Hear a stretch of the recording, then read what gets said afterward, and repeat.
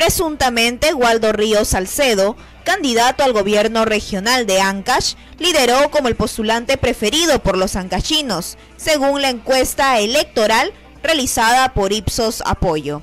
Al respecto, se pronunció Alberto Calderón Ostolaza, presidente de la Sociedad Civil por la Reivindicación Moral de Ancash, quien expresó su preocupación ante el posible hecho.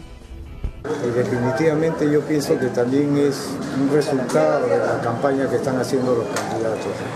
Definitivamente yo pienso que en el transcurso de la próxima semana la definición me parece debe ser la última semana por cuanto eh, la mayoría de, personas está en una indecisión total.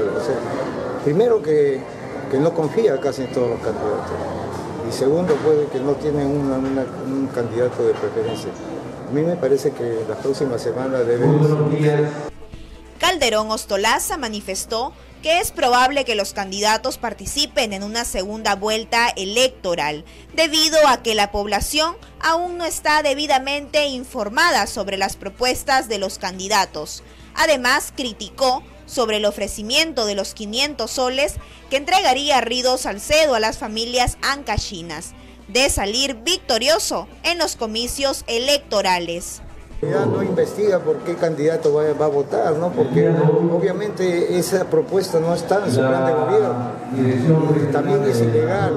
En ese sentido, él también lo ha demostrado en, los últimos eh, debates que ha tenido en televisión y radio, que en realidad no, ya no convence con sus. Y la gente se está dando cuenta pero obviamente también es parte de la población que debe, investigar por la de otro lado, hace unas semanas, algunos representantes del Partido Acción Popular dieron a conocer su respaldo a Roberto Briceño Franco, candidato a la alcaldía provincial del Santa, un accionar que disgustó a Calderón Ostolaza, quien también es dirigente en la organización política.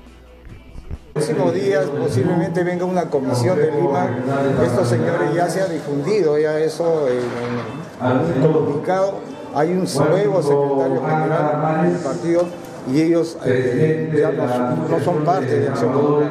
Ellos han, hecho una, conferencia dentro del local partidario. Sí, obviamente dentro del local partidario porque lo tienen secuestrado en, otro sentido de la palabra, por cuanto ellos fueron elegidos y ahora son expulsados, están expulsados del partido.